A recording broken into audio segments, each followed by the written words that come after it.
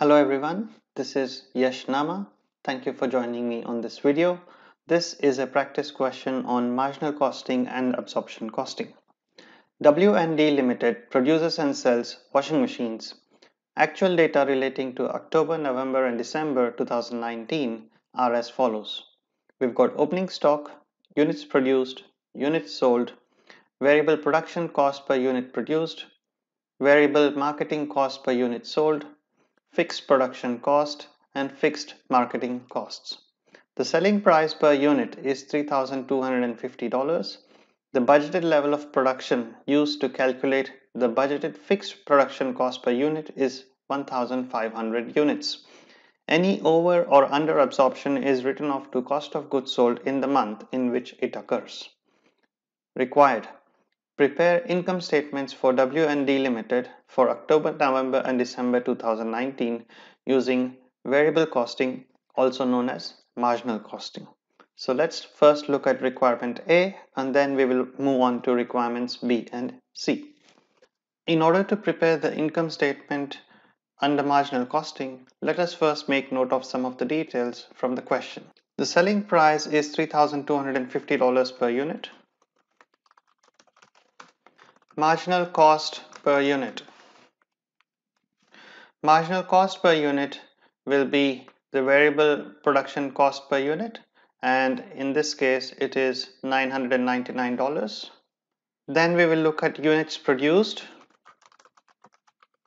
and units sold.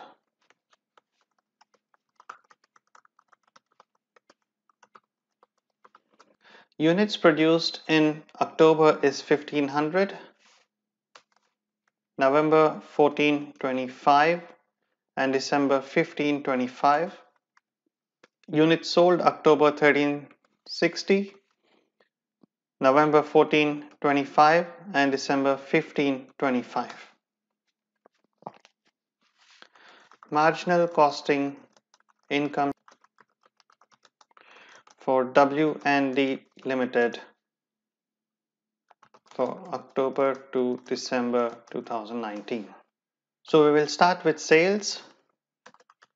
Sales for October is equal to units sold times selling price per unit 3250. November is 1425 units sold times selling price 3250 and December 1525 units sold times selling price 3250.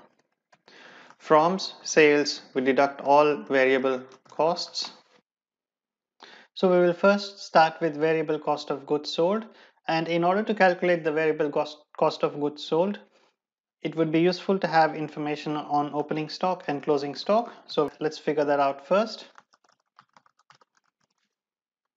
There was no opening stock in October. Goods produced 1500, units sold 1360. So closing stock is equal to opening stock plus units produced minus units sold 140. Closing stock of October will become the opening stock of November. And again the closing stock of November is opening stock plus units produced minus units sold. That's the closing stock 140 again. Opening stock of December will be the closing stock of November. And closing stock of December again will be 140 because units produced and units sold are of the same quantity. Now I'll prepare a working note to calculate the variable cost of goods sold.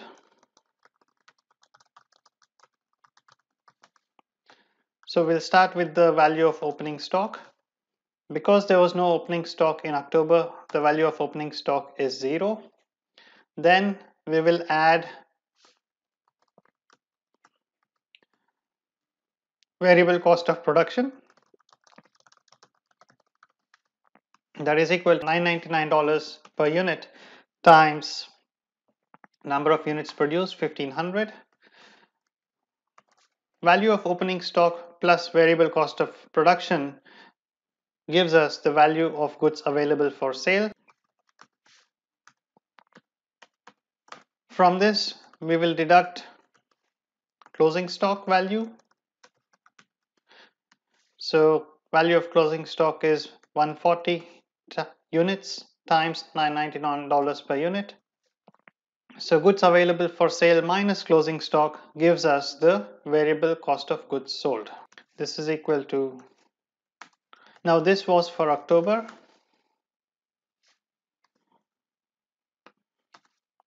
We'll do the same for November and December. Closing stock of October becomes the opening stock of November. Variable cost of production for November is units produced 1425 times $999 marginal cost per unit. Sum of these two will give us value of goods available for sale and value of closing stock is 140 times 999. So variable cost of goods sold is 1423 575. December opening stock of December is the closing stock of November value of production is equal to 1525 units produced times $999 variable cost per unit. Opening stock plus variable cost of production gives us the value of goods available for sale. From this we will deduct value of closing stock 140 units times $999 per unit and this will give us variable cost of goods sold for December. So we started with sales and then we deducted variable cost of goods sold. Then we will deduct variable marketing costs. Variable marketing cost is $799 per unit sold times number of units sold 1360 for October 799 times 1425 for November 799 times 1525 for December. So from sales we deducted all variable costs. Now we have contribution. Contribution is sales minus the sum of variable costs from this we deduct fixed costs we've got two sets of fixed costs fixed production costs and fixed marketing costs. Fixed production costs are 495,000 per month.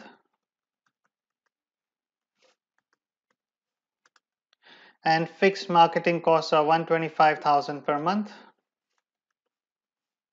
So from contribution, if we deduct the fixed costs, we will have operating profit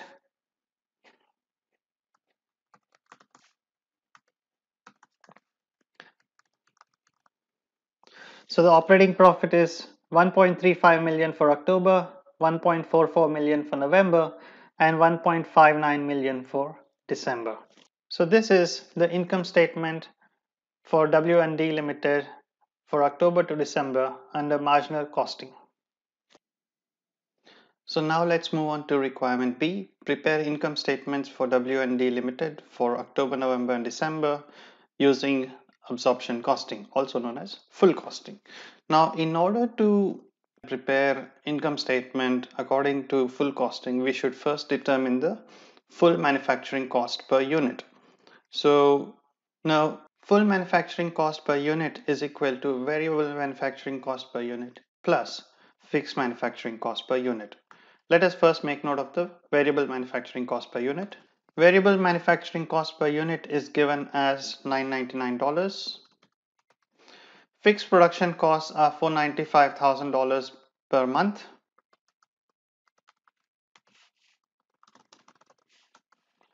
And we are told that the budgeted level of production used to calculate the budgeted fixed production cost per unit is 1500 units. So fixed cost per unit is equal to fixed cost per month upon budgeted units per month, $330. So I will now make note of the fixed manufacturing cost per unit that is equal to $330 which we calculated earlier. So the full manufacturing cost per unit is equal to the sum of the variable manufacturing cost per unit and fixed manufacturing cost per unit which is $1329. So now we can proceed to the preparation of income statement under absorption costing. So let's start with the sales revenue. As we know, the sales revenue will not change whether we are following absorption costing or marginal costing. So what I'm doing here is to copy over the sales numbers from the marginal costing income statement. I've got the sales revenue. From sales, we deduct the cost of goods sold.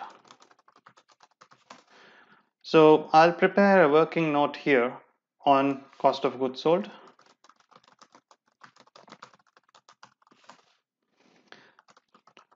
Opening stock.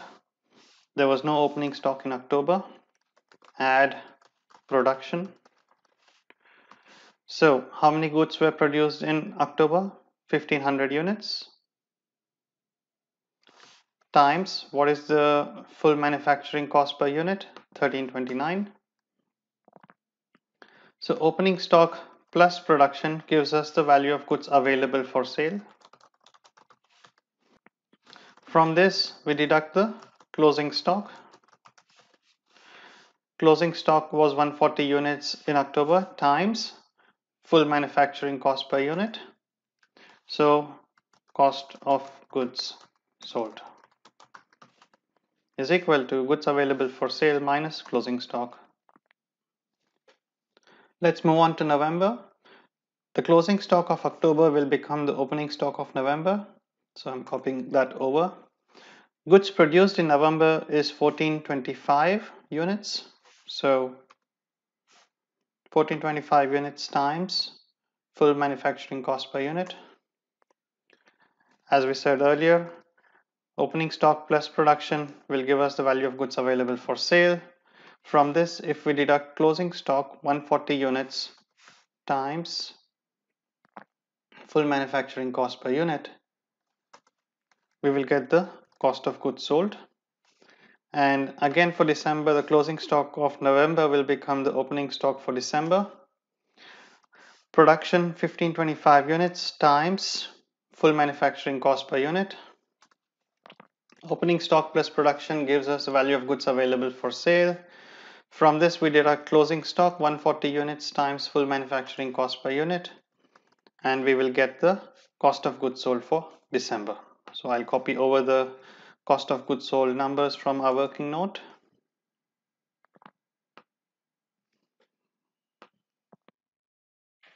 The next thing we have to look at is any over or under absorption to the cost of goods. Now you can see that we have used budgeted fixed production of 1500 units to calculate the fixed manufacturing cost per unit. Now we have to compare the budgeted production with the actual production to determine if there is any over or under absorption. Now in October the actual units produced is 1500 and it is the same as the budgeted number of units produced so there's no problem. Next, in November, the actual number of units produced is 1425, whereas the budgeted number was 1500 units. Now, because of this, what would have happened in our calculations is we would have under recognized fixed costs to the extent of 1500 minus 1425, which is 75 units because what we have done in our calculation of uh, cost of goods is we added production uh, based on the actual production numbers whereas we used the cost per fixed cost per unit based on the budgeted production numbers so what has happened here is we have under recognized fixed cost so we have to add fixed cost to the extent of 75 units to bring the fixed cost to for total of 495,000. So we will make adjustments for the production volume variance.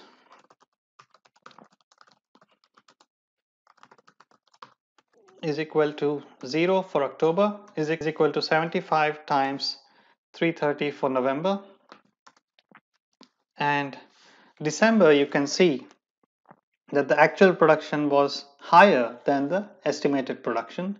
So in this case, we would have over recognized fixed costs So we have to deduct fixed cost to the extent of 25 units times $300, $330 per unit. So it is minus 8250. Now, let us calculate the gross profit. Gross profit is equal to sales minus the sum of cost of goods and production volume variance. So once we've calculated gross profit, then we will deduct non-manufacturing costs.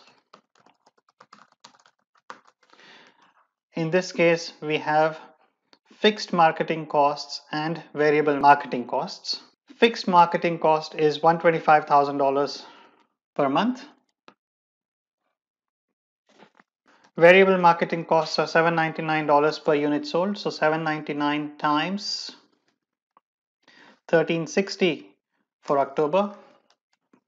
799 times 1425 for November. 799 times 1525 for December. Operating profit is equal to gross profit minus the sum of non-manufacturing costs. So this is the income statement for W&D Limited for October to December using absorption costing. Finally, let's move on to requirement 3. Explain the difference in operating profit for October, November and December under variable and absorption costing. So reconciliation of profit under absorption costing and variable costing. So we will start with so we will start with profit under absorption costing.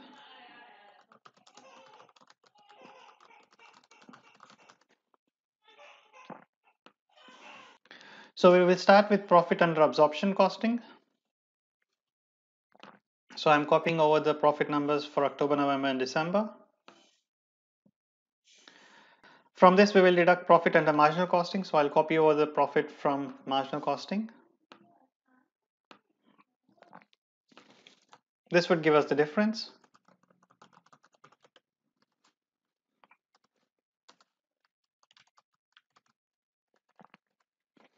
So we can explain the difference between profit under absorption costing and the profit under marginal costing by looking at the difference between the fixed manufacturing cost in the ending inventory minus the fixed manufacturing cost in the opening inventory. So let us take a look at first the fixed manufacturing cost in the ending inventory for October. So the ending inventory for October was 140 units times fixed manufacturing cost per unit was 330 ending inventory in November. 140 units times fixed manufacturing cost per unit 330 and ending units in December 140 units times fixed manufacturing cost per unit 330 now we deduct fixed manufacturing cost in the opening inventory. So Opening inventory in October was zero. Opening inventory in November was 140 units times 330 per unit. And in fact, for December, the opening inventory will be the closing inventory for November. So let's look at the difference between these sets of numbers. So here you can see that the difference in profit under absorption costing and marginal costing is the same as the difference between fixed manufacturing costing and ending inventory minus fixed manufacturing cost in opening inventory. I hope this video was useful. If you have any questions, please feel free to contact me. Thank you.